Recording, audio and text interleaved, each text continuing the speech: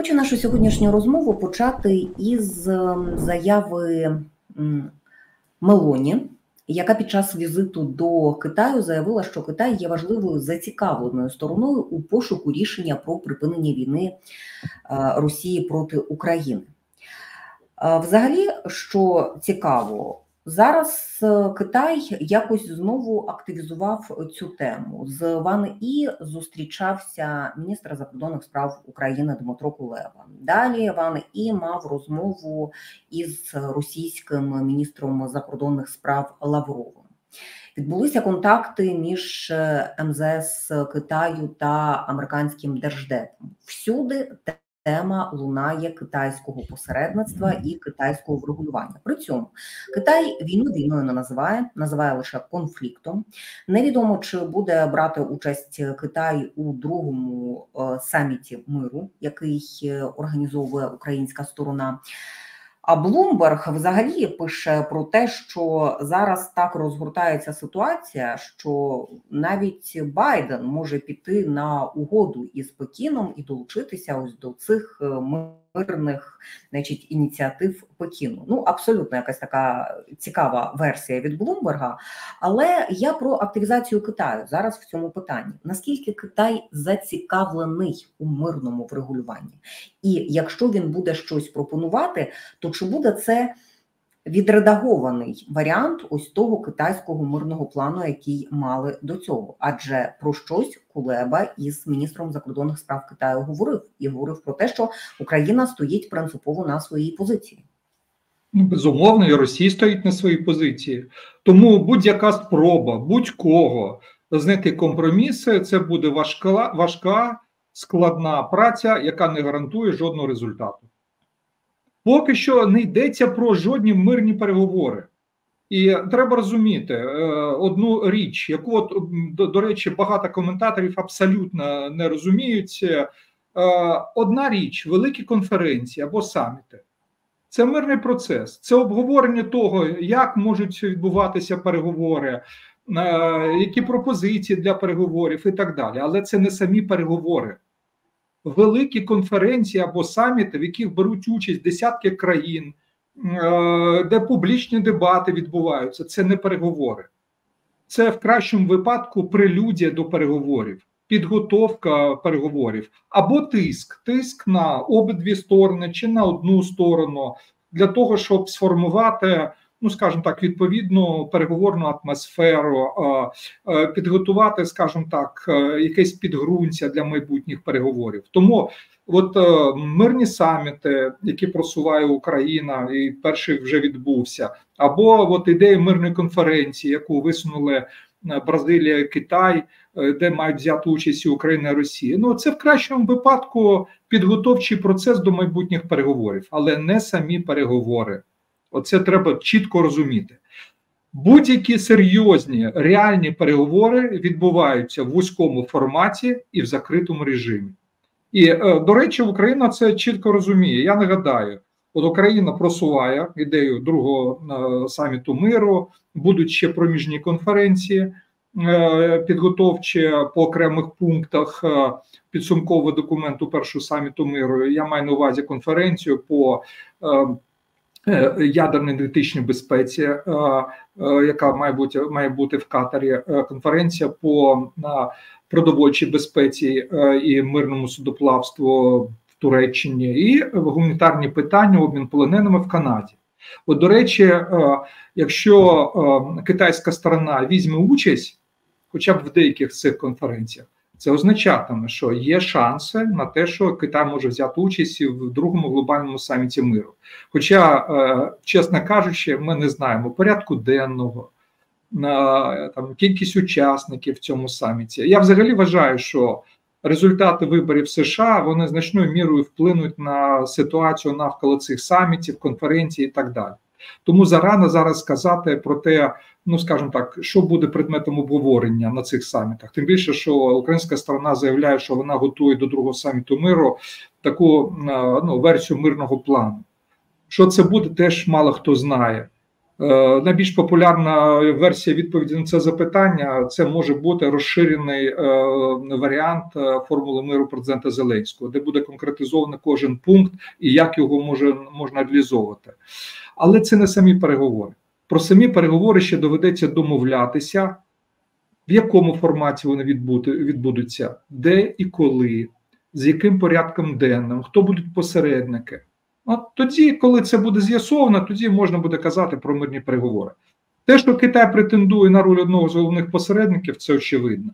І саме а в чому це його інтерес? В чому його інтерес? Кулеба сказав, Китай на стороні Китаю завжди. Тож да, завжди, да, да, да. Інтерес Китаю, перш за все, в тому, щоб а, через активну і, якщо вийде ефективну участь в переговорних процесах, значно посилити свою міжнародну роль свою роль одного з міжнародних лідерів. Я зверну увагу, у нас же зациклено тільки на наших питаннях. Ми тільки про нас і про там перспективи завершення війни в Україні говоримо. А міжнародна політика вона знатна, ну значно більш е, різноманітна.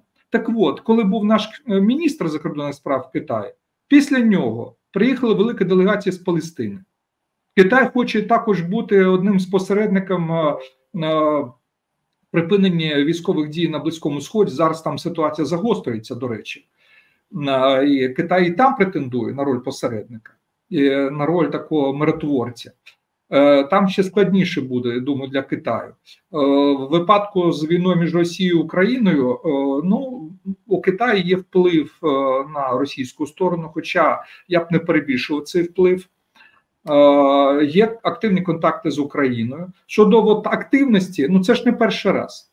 Ми бачили вже декілька хвиль активності Китаю з цієї проблематики. Зокрема, перший раз це було ще рік тому, навіть більше навесні минулого року.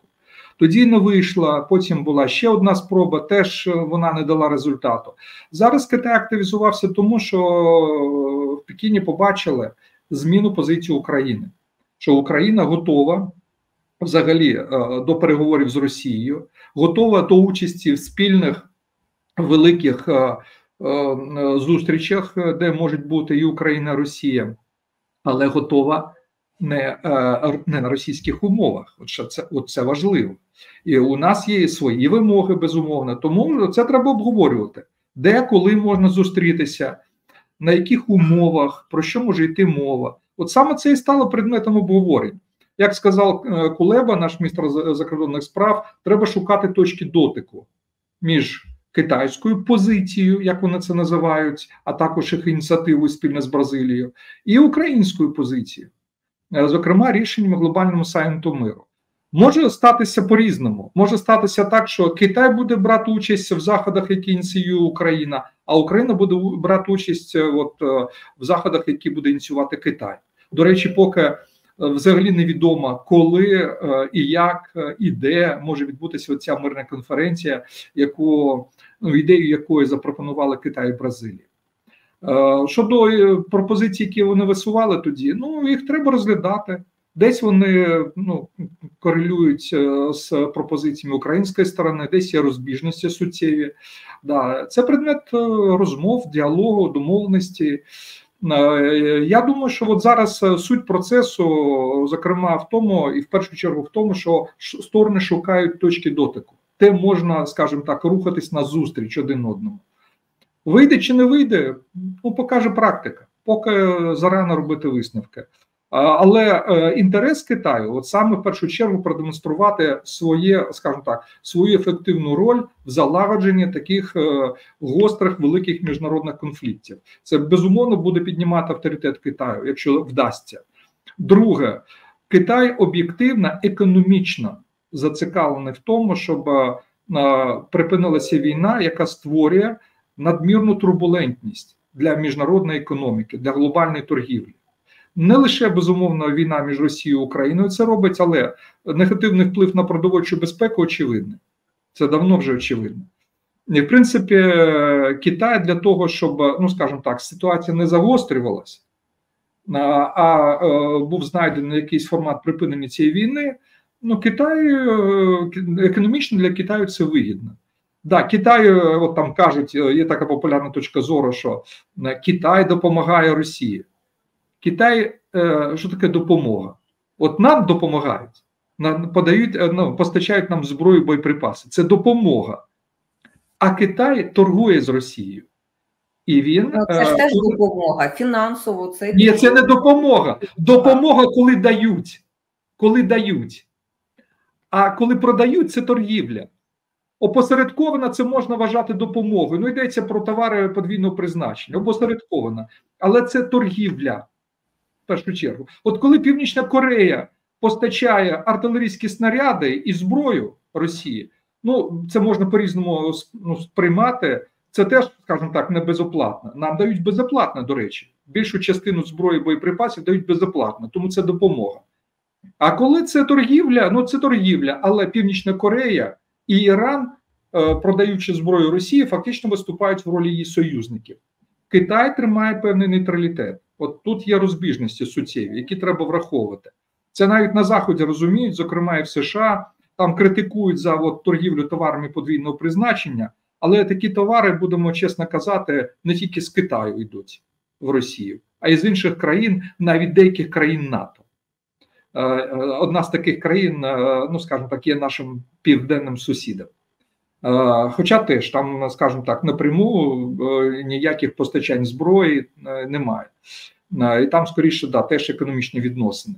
Так що ситуація не така однозначна, і Китай от він зацікавлений в тому, щоб Росія була залежною від нього. Росія стала залежною внаслідок цієї війни, але затягування війни воно буде створювати проблеми для світової економіки. Далі, якщо війна буде загострюватись, то це може розколоти світ на два протилежних табори.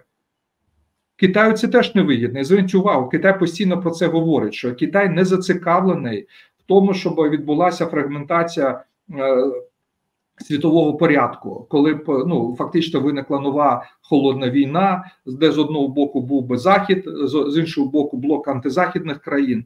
Для Китаю ну це е, невигідний сценарій, тому що це буде руйнувати е, глобальну систему світової економіки, міжнародної торгівлі. Е, а Китай е, економічно розвивається саме на цьому фундаменті. Якщо е, буде звужена сфера е, торгівлі для Китаю, ну це вдарить по китайській економіці і, врешті-решт, матиме негативні соціальні політичні наслідки. Саме тому Китай зацікавлений стратегічно в залагодженні цієї війни, е, в припиненні цієї війни. Інша річ, що у Китаю є свої інтереси, які е, ну, в багатьох питаннях не співпадають з нашими. Я думаю, що Китай зацікавлений просто припиненні бойових дій. У нас до цього сценарію ставляться неоднозначно. Хоча, ну скажімо так, е, треба розуміти, що е, об'єктивно е, нам не вистачає зараз ресурсу для того, щоб звільнити всі окуповані території. Навіть для оборони не завжди вистачає, чесно кажучи. От це просто для реалістичної оцінки ситуації. Але все рівно ми поки не готові до такого сценарію, просто припинення бойових дій по лінії фронту. А Росія, до речі, теж. Росія хоче більшого. Росія хоче, щоб ми е, е, скажімо так припинили війну на їх умовах, що для нас тим більше неприйнятно. А Китай виступає за такий сценарій: от просто припинити бойові дії. Я трошки спрощую, е, але тим не менш. Китай може бути зацікавлений в тому, щоб війна припинилася, зокрема на умовах відмови України від членства в НАТО, перспективи членства в НАТО. Китай негативно ставиться до НАТО. Китай вважає розширення НАТО на схід однією з головних причин нинішньої війни, і тут його позиція ближче до Росії. І от якраз по темі НАТО ну явно не співпадають наша позиція і китайська, як і по деяких інших, е, е, скажімо так, позиціях. Наприклад, Китай закликає Захід припинити постачання зброї в Україну. А як нам воювати без такого постачання? Це для нас абсолютно неприпустимо. Тут теж є розбіжності. Тому е, є точки дотику. А є розбіжності в наших позиціях. Е, ну це нормальна ситуація. Інтереси наші не співпадають. У нас не завжди, до речі, співпадають інтереси із Сполученими Штатами. Це так до слова. Це теж відомо, зокрема в американських обмеженнях щодо ударів по російській території. Так що це нормальна ситуація, до чого треба ставитись спокійно. Е, з Китаєм треба працювати, контактувати, вести діалог, е, роблячи поправку на особливості їх інтересів, але в той же час використовуючи Китай як могутнього партнера е, в мирному процесі. Зокрема, чим для нас важливі контакти з Китаєм. Діалог з Китаєм він сприятиме тому, що в нашому мирному процесі будуть брати участь країни глобального півдня, які орієнтуються на Китай. Вони бачать, Китай з нами веде переговори, домовляється. Якщо ще Китай буде брати участь там е, в деяких заходах глобального саміту миру, ну це означатиме, що значна частина країн глобального півдня теж можуть е, брати активну участь в цих заходах. Особливо йдеться про африканські країни, там де у нас, ну скажімо так, є серйозні проблеми.